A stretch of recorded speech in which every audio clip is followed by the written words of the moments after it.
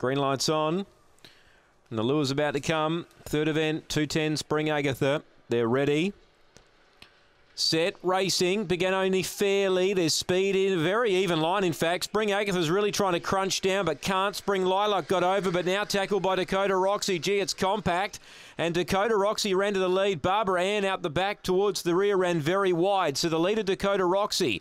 It was really, really tough early. Second was Spring Lilac, a length away, who's coming on well. Two back to Victor Emma, then Fabulous Ebony, then Spring Agatha and Barbara Ann. Still Dakota Roxy defying them, hooking out wide Victor Emma. Back to the rail, Spring Lilac. Still Dakota Roxy. Dakota Roxy leads all the way from Spring Lilac.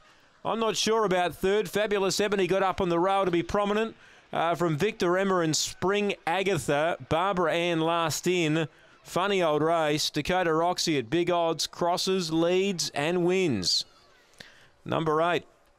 Number eight, Dakota Roxy, Colin Symes. Well, last start winner, back to back wins for her. Four is second, Spring Lilac, who had her chance, and Fabulous Ebony up on the rails got third, the seven. Two gets fourth, Victor Emma. Uh, 8 4 7 and 2. 8 4 7 and 2. 34 74 the time.